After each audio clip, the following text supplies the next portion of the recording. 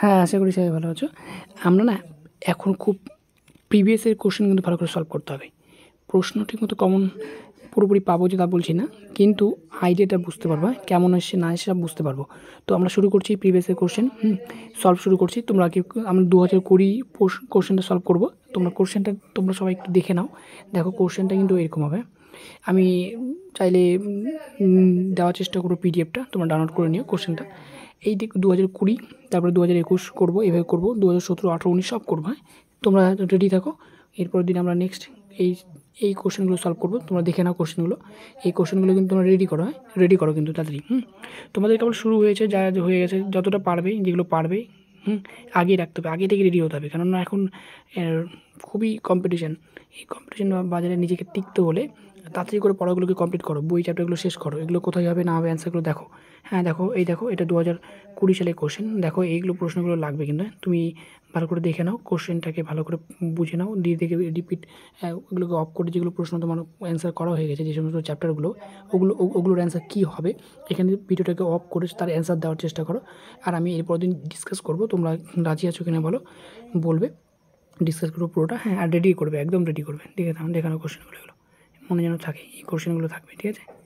দেখো লোহার আকরিক রেডামাইটের সংকেত কোনটা? এগুলো রেডি করবে। ঠিক আছে? কোলবেট মিথেন থেকে জ্বালানি গ্যাস আহরণ করা হয়। কোলবেট কোন জ্বালানি গ্যাস আহরণ করা হয়? মিথেন গ্যাস জানি আমরা। বায়ুর উপস্থিতি একটি যদি বলে একটি গ্যাসের নাম করো যেটি পরিমাণ বাড়লে বিশ্ব উষ্ণায়ন ঘটে। তাহলে বিশ্ব উষ্ণায়ন ঘটানোর জন্য কিছু একটি বায়ুতে উপস্থিত। একটি গ্যাসের নাম করো তাহলে carbon dioxide gas green house এফেক্টের জন্য দায়ী যেটা, সেটা বলতে পারো তোমরা। তাই না? এগুলো বলতে পারো। তারপর দেখো তুমি দেখো, তারপরে একটি শক্তি উৎসের নাম লেখো, যেটি স্থিতি স্থিতিশীল বৃদ্ধি ও উন্নয়নের জন্য ব্যবহার করা হয়। স্থিতিশীল বৃদ্ধি বা উন্নয়নের জন্য ব্যবহার করা যেতে পারে আমরা অপ্রচলিত শক্তি উৎসগুলো, যেমন সৌরশক্তি তারপর নিচের বিবৃতির মধ্যে সত্য না মিথ্যা দেখো, নির্দিষ্ট উষ্ণতা চাপে কোনো আবদ্ধ পাত্রে রক্ষিত গ্যাসের অণুগুলির বেগ সমান হয়। দেখো, গ্যাসের অণুগুলো কিন্তু নিতান্তই বেগ কেমন হয় আমরা পড়েছিলাম যে আদর্শ গ্যাসের গতিত্ব যে স্বীকার্যগুলো ছিল, ওখানে দেখো নিশ্চয়ই বলা আছে। এই বেগের মান কিন্তু এলিমেলো। মানে বেগের মান শূন্য থেকে অসীম মানের হতে পারে। তাই এটা আমরা বলতে পারি মিথ্যা। তার কারণে বেগের মান সমান হয়, এটা বলা যায় না। কারণ ওর- তো সর্বদা ছোটাছুটি করছে, তাই না? বেগে গ্যাসের বেগের অণুগুলো একটু দূরত্ব বেশি মলিগুলো একটু অ্যাট্রাকশন বল কম, তাই এরা কি সবসময় মুভমেন্ট করে। তাই সমান বলা যাবে না বেগগুলো, ঠিক আছে? তারপরে চার্লসের সূত্র অনুসারে ভি আর টি লিখে যদি প্রকৃতি কী হবে? দেখো, মূল বিন্দুগমির স্বরলেখা মনে যেন থাকে, এটা? এটা মূল বিন্দুগমির স্বরলেখা মূল বিন্দুগমির স্বরলেখা মানে বুঝতে পারছ? এইদিকে এইদিকে যদি ভি দাও আর এদিকে যদি টি দাও, তাহলে এইরকম হবে স্বরলেখাটা এটা হচ্ছে ভিটি লিখেছি। আর যদি বলে ভি, এটা তো ভিটি স্বরলেখা যদি বলতাম আমি স্মল টি বলতাম, দেখো স্মল টি বললে কিন্তু আলাদা হবে কাপটা। স্মল টি বললে কিন্তু এরকম হবে, মনে যেন থাকে হ্যাঁ? এখানে হচ্ছে মাইনাস দুশো তিয়াত্তর ছেদ করতাম না, জানো তো তোমরা এটা না? এদিকে ভি, এদিকে টি, এদিকে কিন্তু ভি, এদিকে টি থাকবে, ঠিক আছে? স্মল টি এটা যেন মনে থাকে।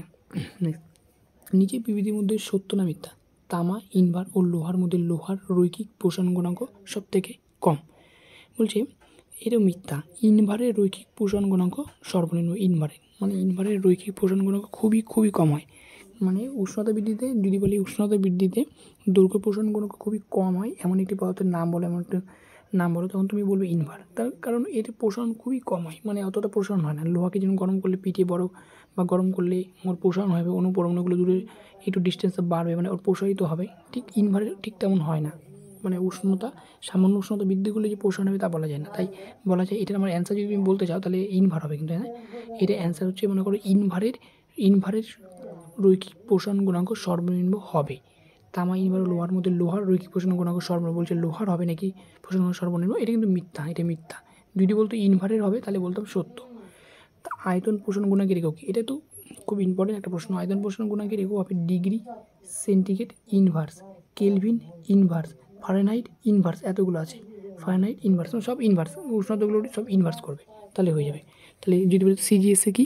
ডিগ্রি সেন্টিগ্রেড ইনভার্স এসআইতে কি? কেলভিন ইনভার্স এপিএস পদ্ধতিতে কি? ফারেনহাইট ইনভার্স মনে যেন থাকে। গুলিতপূর্ণ মেরু কাকে বলে?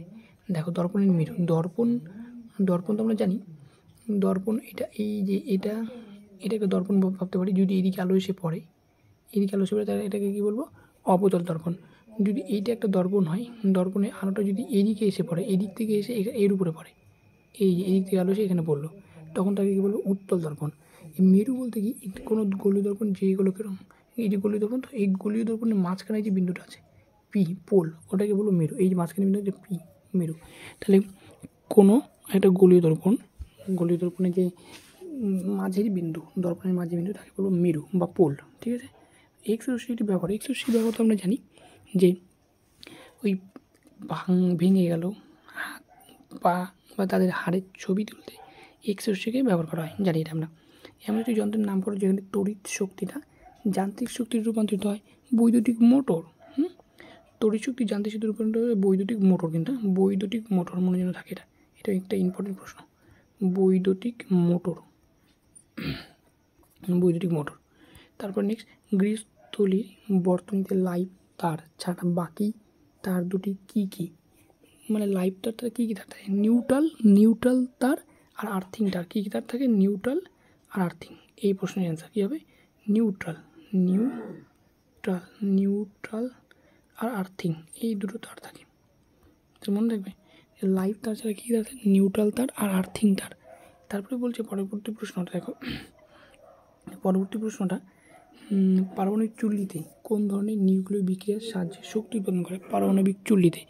দেখো, আমরা দুই প্রকার বিভাজন আছে। নিউক্লিয় বিভাজন একটা একটা নিউক্লিয় সংযোজন বিক্রিয়া। এটা নিয়ন্ত্রিত নিয়ন্ত্রিত নিউক্লিয় বিভাজন বিভাজন হবে। নিউক্লিয় বিভাজন? আর নিউক্লিয় সংযোজন, এটা হবে নিউক্লিয় বিভাজন, এটা কিন্তু বিভাজন, নিউক্লিয় বিভাজন হবে এটা। এটা বিভাজন হবে কিন্তু, বিভাজন। আর এই যে সূর্যের মধ্যে যে শক্তি উৎপন্ন হচ্ছে ওটা কোনটা হবে? ওটা হবে নিউক্লিয় সংযোজন। হাইড্রোজেন বোমা, নিউক্লিয় সংযোজন। হাইড্রোজেন বোমা, নিউক্লিয় সংযোজন। যদি পরমাণু বোমা পরমাণু বোমা, সেটা হচ্ছে নিউক্লিয় বিভাজন। ঠিক আছে? পরমাণু চলিতে। একটি প্রাকৃতিক তেজস্ক্রিয় মূল্য উদাহরণ প্রকৃতিতে যে তেজস্ক্রিয় মূল্যটা পাওয়া যায়, সেটা হচ্ছে ইউরেনিয়াম। ইউরেনিয়াম, বিরানব্বই, দুইশো দুইশো কত বলব? দুশো পঁয়ত্রিশ দুশো আটত্রিশ যেগুলো আছে ওগুলো। নেক্সট এই বাম স্তম্ভ, ডান স্তম্ভ মিলাতে হবে, তাই না? দেখো, এটা খুব সহজ। দেখো এটা ভয় পাবে না কিন্তু হ্যাঁ? যখন কোনো জিনিস বাম স্তম্ভ, ডান স্তম্ভ মিলাতে বলবে না, তুমি ইয়ে করো, একটা জিনিস কাজ করো। সেখানে তুমি, যেইটা তুমি একদমই মানে পারবে না, ওটাকে তোমাকে দেখতেই হবে না। তুমি আগে মিলাও, তুমি যেটা পারবে সেটাকে মিলাও। পড়ে যাক, এক নাম্বারটাই যে আমাকে পারতে হবে তার কোনো ব্যাপার না। যেটা পারব সেটাকে মিলাবো। দেখো, অভিজাত মৌল কোনো, অভিজাত মৌল হলো সেই সমস্ত মৌল মানে অভিজাত মানে কি? অভিজাত পরিবারের সন্তান বলি না, তার টাকা পয়সা কোনো অভাব নেই। মানে অষ্টকপূর্ণ রয়েছে। কারোর সঙ্গে রিয়াকশন করে না। তা কোনগুলো কারোর সঙ্গে রিয়াকশন করে আঠারো নং শ্রেণি মৌলগুলো, আঠারো শ্রেণি মৌলগুলো কি? আঠারো শ্রেণি মৌলগুলো হলো helium neon argon krypton xenon radon তাই না? তার মানে অভিজিত মৌল কি ক্রিপ্টন এটা আমি পেলাম, পারলাম আগে, এটা এটা দিয়ে দিলাম, ব্যাস। তার মানে আমি পেরে গেলাম যে এটা হচ্ছে এ নাম্বার হচ্ছে, এটা হচ্ছে এ নাম্বার তারপরে দেখো ইউরোনিয়াম, তো ইউরোনিয়ামের পরবর্তী যে মৌলগুলো, নেপচুনিয়াম, এটা নেপচুনিয়াম হবে। এটা বি নাম্বারের ইউরোনিয়াম পরবর্তী মৌলগুলোকে ইউরোনিয়াম মৌল বলা হয়। এবার দেখো, ধাতু সংখ্যার পিতলে যে ধাতুটি শতকরা আছে, এই দেখো দেখো তিন নাম্বারটা দেখো, তিন নাম্বার তাহলে আমাদের ওটা হয়ে গেলো, এটা পারলাম। কারণ ধাতুর তিন নাম্বারটা দেখো দেখি, ধাতুর অক্সাইডের কার্বন বিজারণ দ্বারা প্রস্তুত কার্বন বিজারণ পদ্ধতিতে নিষ্কাশন করা হয় বা কার্বন বিজারণ পদ্ধতিতে প্রস্তুত করা হয় কোনগুলোকে জিঙ্ক। এটার আনসার হবে জিঙ্ক। জিঙ্ক। এটা যে পেরে গেলাম বাদ বাকি যেটা পড়ে আছে ওটাই হবে অ্যান্সার বাদ বাকি কি হয়ে কপার তাই না? বাদ বাকি যেটা হয়ে যাবে কপার বুঝতে পারলাম? ভালো করে মনে রাখবে না দু হাজার কুড়ি প্রশ্ন কিন্তু এগুলো। পরবর্তী। ক্লোরোফর্ম ও সোডিয়াম ক্লোরাইডের মধ্যে কোনটি জলে দ্রবীত হয় না? জলে দ্রবীত হয় না। ক্লোরোফর্ম অ্যান্সার হবে ক্লোরোফর্ম দেখো এক, একমাত্র এটা কিন্তু সমজীবী যৌগ হ্যাঁ? হ্যাঁ এটা সমজীবী যুগ। এই সমজীবী যৌগ কিন্তু তড়িৎ পরিবহন করে না। আমরা জানি তো সমজীবী যৌগগুলো তড়িৎ পরিবহন করে না, কিন্তু একমাত্র এনএসিএল যৌগটা হ্যাঁ সরি হ্যাঁ sorry sodium chloride NaCl sorry sorry sorry sorry sorry sorry এক আমার ভুল হয়েছে। সরি এটা আমি হাইড্রোজেন ক্লোরাইড ভেবেছিলাম। না, এটা হচ্ছে, এটা সমজীবী যৌগ। সমজীবী যৌগ এটা। এর মধ্যে কোনটি জলে দ্রবীত হয় না? দেখো, এটা হচ্ছে এটা হচ্ছে সমজীবী যৌগ না, এটা হচ্ছে তড়িৎ জড়ি যৌগ। এটা কি বললাম? তড়িৎ যোজি যৌগ বা আয়নীয় যৌগ। আর মনে রাখবে তড়িৎজয়ী যৌগ বা আয়নীয় যৌগগুলি জলে বা পোলার বা ধ্রুবীয় দ্রাবকে দ্রবীভূত হয়। আর যারা সমজীবী যৌগ, তারা কিন্তু জলে দ্রবীভূত হয় না। যেমন ক্লোরোফর্ম। এটার অ্যান্সার হয়ে যাবে ক্লোরোফর্ম। এমন একটা সমজীবী যৌগের নাম বলো তো, যেটা জলে দ্রবীভূত হয়, জলে দ্রবীভূত হয়ে আয়ন আয়ন দিতে পারে বা আয়ন দিয়ে তড়িৎ পরিবহন করতে পারে, হবে হাইড্রোজেন ক্লোরাইড আমি সেটা ভেবেছিলাম হ্যাঁ? তোমাদের কাছে খুবই সরি সরি তোমাদের কাছে যেন আমার একটু ভুল হয়েছে। আমি এটাকে হাইড্রোজেন ক্লোরাইড ভেবেছিলাম হ্যাঁ? অ্যাকচুয়ালি এটা সোডিয়াম ক্লোরাইড আছে ঠিক একটু ভুল হয়েছে। তাহলে এটা তড়িৎযোজী বা আয়নীয় যৌগ হবে, আর অ্যান্সার হয়ে যাবে যেটা আমাদের জলে দ্রবীভূত হয় না, হবে ক্লোরোফর্ম ঠিক আছে? পরবর্তী নেক্সট নেক্সট পরবর্তী প্রশ্ন তড়িৎ ভীষণ পদ্ধতিতে নিষ্কাশিত করা হয় এমন একটি ধাতু ধাতুর নাম বলো। তড়িৎ বিশ্লেষণ পদ্ধতিতে নিষ্কাশন করা এমন একটি ধাতুর নাম কি? অ্যালুমিনিয়াম বলতে পারো তুমি। অ্যালুমিনিয়াম এই অ্যালুমিনিয়াম বলতে পারো। আরও আছে অ্যালুমিনিয়াম। তারপরে পিতলের চামচের উপর সিলভারের তড়িৎ লিপনে অ্যানোডে কী দেবে? এই জিনিসটা খুব সহজে এ বুঝবে হ্যাঁ? খুবই সহজেই দেখো, বুঝতে পারে না অনেকে। দেখো, নীল পলিশ দেয় না? নীল পলিশ মেয়েরা, হাত যে মেন হাতটা আছে হ্যাঁ? ওই হাতে যে নীল পলিশটা দিচ্ছে ওখানে, ওই হাতটা হাতটা হবে, আমাদের হবে ক্যাথোড মনে থাকবে? ক্যাথোড তাহলে হাতটা ক্যাথোড তারপরে তুমি যেটা দিচ্ছ বাইরে থেকে যেটা অ্যাপ্লাই করছ, তুমি যেটা বাইরে থেকে অ্যাপ্লাই করছ তুমি বাইরে যে রঙটা দিচ্ছ মানে পিতলে দেখো এখানে পিতলের চামচের উপর সিলভারের তৈরি লেবন। যেটা যেটা মেনকে মেনটাকে এখানে পিতলের চামচ, তাহলে এইটা হবে আমার ক্যাথোড এইটা হবে আমার কেন মেন জিনিসটা মানে যার উপর দেওয়া হচ্ছে, যেটা যেটা যার উপর দেওয়া হবে ক্যাথোড। যে জিনিসটা দেওয়া হবে সেটা হবে অ্যানোড। কী দেওয়া হচ্ছে এখানে? সিলভারের তৈরি লেবন তাহলে সিলভার যেটা আছে তৈরি লেবন ওটা হবে অ্যানোড। ওটা হবে অ্যানোড। হুম? অ্যানোড। ওইটা আমার হয়ে যাবে কি? অ্যানোড। হুম, ঠিক আছে? তাহলে ওইটা হবে অ্যানোড। এইবার দেখো তো অ্যানোডটা কি? তাহলে অ্যানোডটা কি? বুঝতে পেরেছ আন্দাজি তাই না? বুঝতে পেরেছ? Silver silver. তো সিলভার, সিলভারের প্রয়োগটা দিচ্ছ না? তাই সিলভার হবে এখানে। আর মেন জিনিসটা মানে তুমি নীল পলিশটা দিচ্ছ নীল পলিশটা হয়ে যাবে। অ্যানোড যদি মনে মনে ভেবে রাখো, একটু মনে রাখার চেষ্টা করবে। নীল পলিশটা ইউজ করো নাকি আবার ছেলেরা? মেয়েটা তো ইউজ করে। যাই পিতলের চামচের ওপর সিলভারের তড়িৎ লেপন করলে অ্যানোড হিসেবে যেটা নিব, সেটা সিলভার নিব। আর মেন জিনিসটা, যার উপর নেওয়া হচ্ছে, সেটাকে নেব ক্যাথোডে আর কোনো দিন যেন ভুল না হয়। যার উপর দিবে তড়িৎ লেপন যে মেন বস্তুটা, সেটা হবে ক্যাথোড যে জিনিসটার রঙটা যে রঙটা ইউজ করছ তুমি, সেটা হবে অ্যানোড মনে থাকবে? একদম। তড়িৎ বিশ্লেষণের সময় কোন শক্তি রাসায়নিক বিক্রিয়া ঘটায়? মনে রাখবে, তড়িৎ বিশ্লেষণের সময় কোন শক্তি? তড়িৎ শক্তি। তড়িৎ শক্তি অবশ্যই এখানে ডিসি হ্যাঁ? এটা কিন্তু ডিসি তড়িৎ শক্তি না হয়, তড়িৎ শক্তি ডিসি তড়িৎ শক্তি না হবে ডিসি তড়িৎ শক্তি না হবে মনে যেন থাকে এখানে ডিসি তড়িৎ শক্তি না হবে ডিসি এসিতে কিন্তু কাজ করবে না তড়িৎ বিষয় না ডিসিতে না হয় ডিসি ডাইরেক্ট কারেন্ট মনে যেন থাকে। হ্যাঁ উপযুক্ত লিটমাস কাগজের সাহায্যে দেখাও যে অ্যামোনিয়ার জলীয় দ্রবণ ক্ষারীয় প্রকৃতি উপযুক্ত উপযুক্ত লিটমাস লিটমাস কাগজের সাহায্যে দেখাতে বলেছে যে অ্যামোনিয়ার অ্যামোনিয়ার জলীয় দ্রবণ ক্ষারীয় প্রকৃতি। মনে হচ্ছে অ্যামোনিয়ার জলীয় দ্রবণ ক্ষারীয় প্রকৃতি, এটা পরীক্ষা দেওয়া আছে, তাই না? বই ফোয়ারার পরীক্ষা। এই ফোয়ারার যে পরীক্ষা আছে হ্যাঁ ওইটা যদি তুমি দেখতে পাও দেখতে চাও, ওখানে পেয়ে যাবে। ফোয়ারার পরীক্ষার ওখানে অ্যামোনিয়া যখন পরীক্ষা করেছিল না, ওই মানে জলীয় দ্রবণটা পরীক্ষা করে, ওখানে যখন আমাদের লিটমাস পেপার দেওয়া হয়েছিল, তখন কালারটা চেঞ্জ হয়ে গেছিল সেই অনুযায়ী দেখেছিলো যে ক্ষারীয় প্রকৃতি হবে। তুমি ওই পরীক্ষাটা দেখাতে পারো ফোয়ারার পরীক্ষাটা পরীক্ষাটা বলতে পারো হ্যাঁ? তাহলে ওটা দেখে নেবে বইতে। পরবর্তী প্রশ্ন দেখো এন ওইচ মানে সোডিয়াম হাইড্রোক্সাইড আর সোডিয়াম হাইড্রোজেন সালফাইড এই যে হাইড্রোজেন জানি, তাহলে পচা ডিমের গন্ধযুক্ত বলি, তাই না? পচা ডিমের গন্ধ। এখানে এটা বিক্রি করে কী উৎপন্ন হবে দেখো সহজ। এখান থেকে তুমি তুমি ভেবে নাও না এইচ টু ও বাদ দাও। কী পড়ে থাকবে বলো- তো, এখানে এইচ টু যদি হয়ে যায়, তাহলে তুমি এখান থেকে এইচ বাদ দাও। এখান থেকে ও একটা দাও, তাহলে কী পড়ে আছে? বিক্রিয়াটা এত সহজ।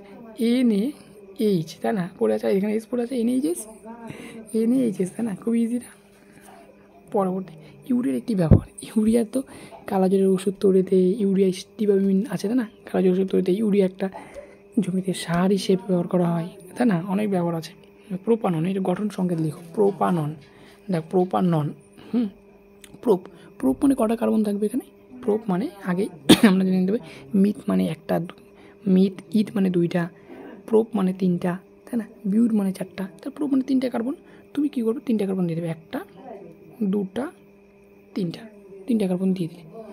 অন এবারে দেখো, এখানে কোন কোন গ্রুপটা যুক্ত আছে কার্বক্সিলিক অন ওইনি ওয়ান লেখা যায় না? এখানে অন প্রোপা নন অন এখানে নন নন নন থাকলে কী হয়?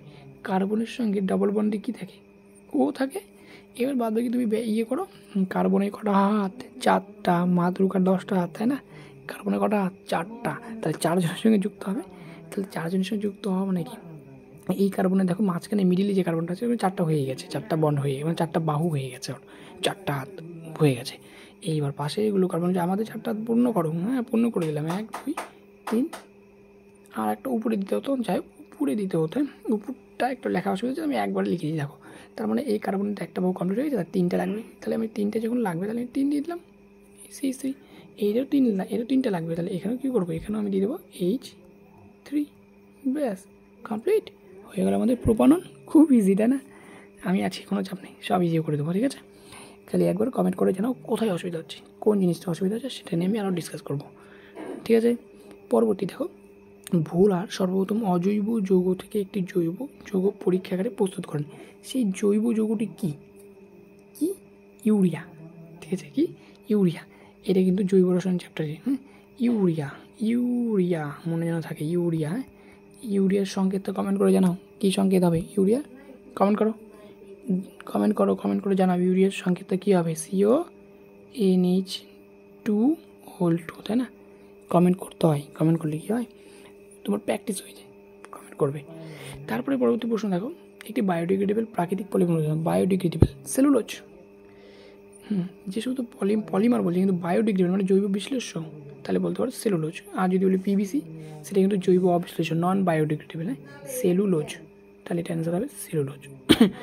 ব্যাস, আমরা দুইয়ের দেখো আরোটা প্রশ্ন কমপ্লিট কমপ্লিট করলাম। আরও আছে, আমি আরও করাবো দিয়েতে তোমরা এই একের প্রশ্নগুলো কিন্তু করানো হয়নি হ্যাঁ? একের প্রশ্নগুলো করালাম না।